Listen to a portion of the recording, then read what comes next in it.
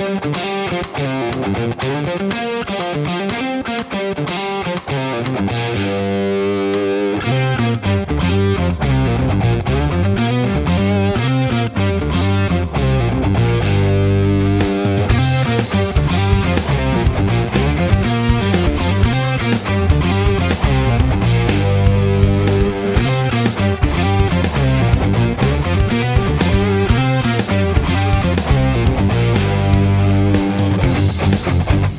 everyone, it's James here from TSR Jivey Talks Tech.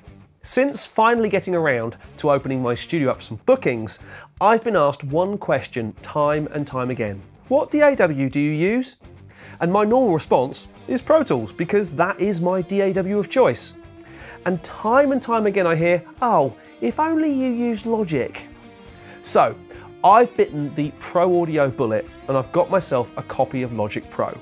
Only the demo at this stage, as Apple very kindly give me 90 days to evaluate the application before I have to part with any hard-earned cash, which is great. Now there's a bit of a running joke, when Paul and I go to trade shows like NAMM, or any trade show for that matter, it would appear at least that I know quite a lot of people. And the joke is that I know them all in the same way. We used to work at Avid.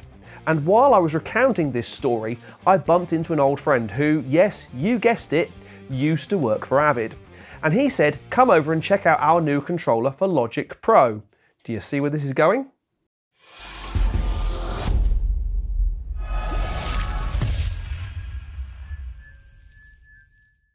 So to cut a long story short, I've just got my greasy mitts on the new Panorama Channel Strip Controller CS12 by Nektar. This is a dedicated USB controller for Logic Pro.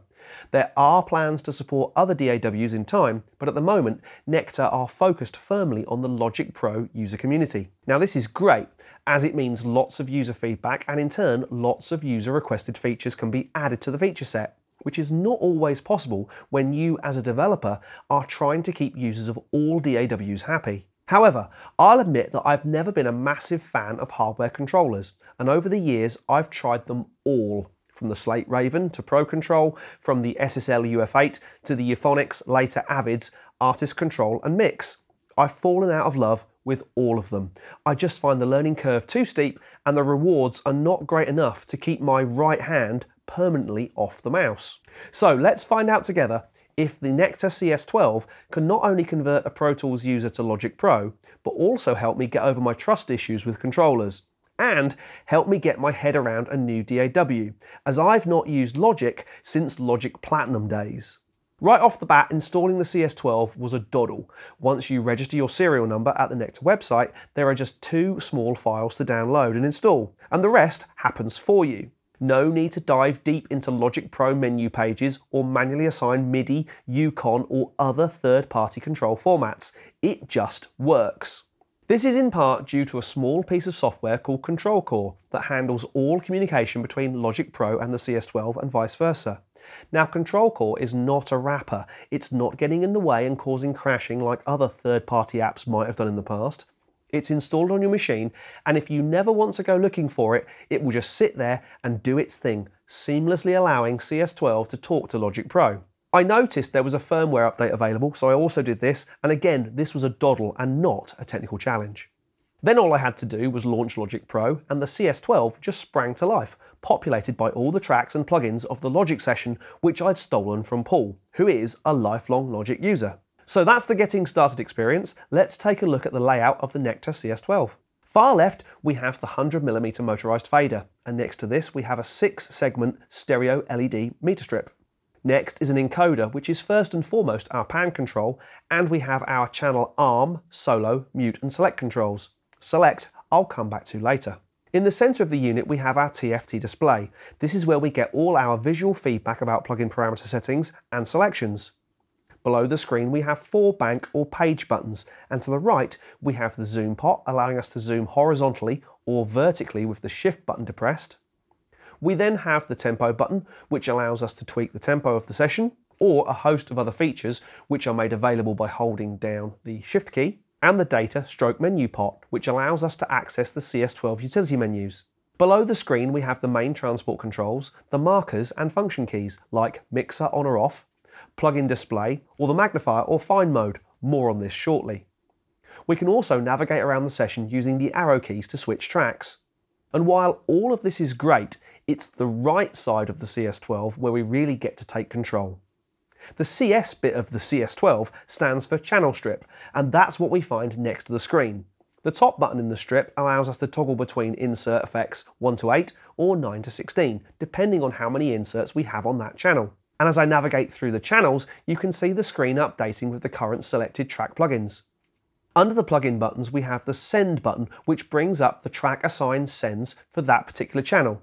And we have the Channel button. Now each of these buttons auto-populates the 12 coloured encoders or 4 buttons, or however many buttons or knobs are required to control that particular plugin. In the case of the Logic EQ, we have 8 bands across 2 pages. Colour is very important to CS12, and by learning the colour codes for each type of processor, you can quickly work your way around a session. Blue, for example, is EQ, red is dynamics, and so on. You can also bypass some or all of the plugins in a strip by using the Shift key, which dims the relevant plugin button or buttons. I think it's fair to say that Nektar have done a great job of mapping all of the Logic plugins and a great many of the popular plugin brands, such as Universal Audio and FabFilter. But as we all know, there are about a billion plugins out there, However, CS12 and its amazing Control Core host software just gets on and maps these plugins across the pots and bathes us in a nice blue glow, which we can tweak as we go if we wish.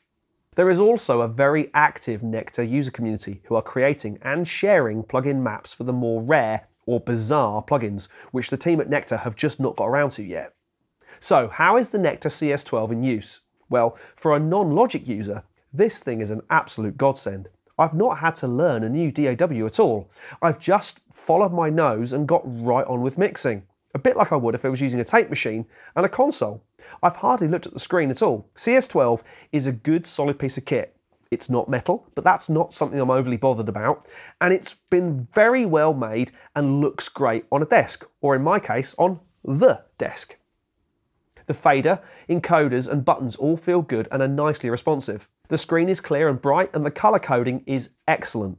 In this video, I've just covered the basics of what CS12 can do, and it does it really well, with no faff, no drama, no dropouts or glitches or any nasty stuff.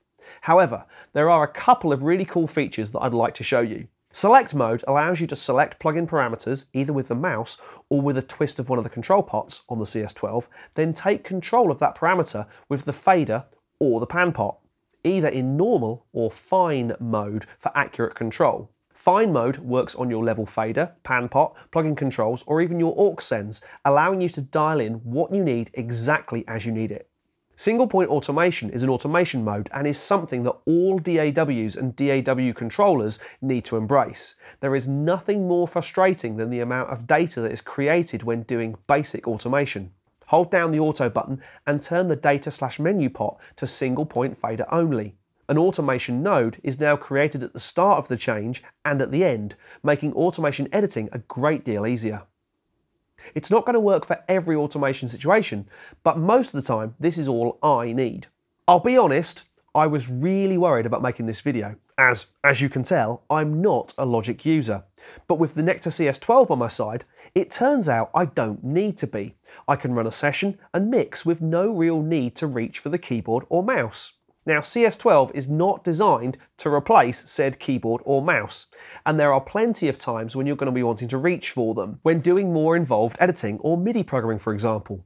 CS12 is not trying to eradicate the mouse or keyboard from your desk, it's there to complement them and allow you to work faster and smarter, or in my case, get any work done at all. For more information on the Nektar Technology CS12 along with their full range of controllers, check out the website or click the link below. And if you enjoyed this video, please do hit like, subscribe and hit that bell to be kept up to date with all future content from TSR Jivey Talks Tech. But for now, my name's James Ivey, and I'll see you again very soon.